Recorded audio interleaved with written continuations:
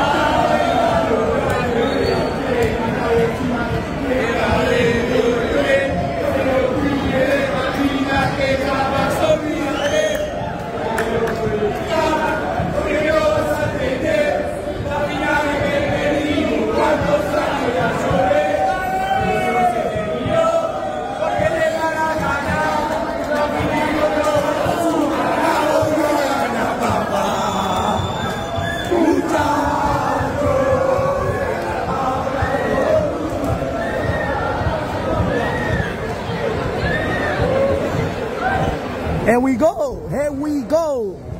This is Luce Stadium ဖြစ်ပါတယ်ဒါ final ကျင်းပမယ်အာဂျင်တီးနားနဲ့ပြင်သစ်တို့ရဲ့ဒါ final လူရမယ်ကမ္ဘာဖလားကြီးကိုလူရမယ်ခွင့်ဖြစ်ပါတယ်ဒါကတော့ပြည်သက်ကဒါ9000ဆိုပေမဲ့တကယ်တမ်းကျတော့တခြားလူပါလူနဲ့ဆိုတော့ပြည်သက်တော့ကျွန်တော်ထင်တော့9000ကျော်ပါပဲအသိန်းလောက်တော့ဒါလေးတော့ရှိနိုင်တယ်ဘာလို့ခါတိုင်းပွဲတွေထက် build တက်လည်းပုံများတယ်သူတို့ကပုံမှန်ဆိုရင်ည7:00နာရီကန်အောင်ဒီနေ့နေ့လယ်2နာရီတည်းကနေကွင်းကိုစဖွင့်ပြီးတော့ညနေ6:00နာရီမှ4နာရီကြိုဖွင့်ပေးတယ် ပွဲတော့ညနေ6နာရီမှကံပါဗောလေဆိုတော့ဒါစပြီးတော့ပေးသက်က build up ဖြစ်ပြီဗောလေဒါကတော့လူဆေးကွင်းဖြစ်ပါတယ်ဒါအခုလောလောဆယ်မှာပေးသက်တွေကယထာဖို့တက်လို့မရလို့တယောက်ပြီးတယောက်ဗောလေအခုတချို့ကစောသေးတာလည်းပါတယ်ဗျ3နာရီဆိုနောက်3နာရီကြံသေးတယ် France versus Argentina.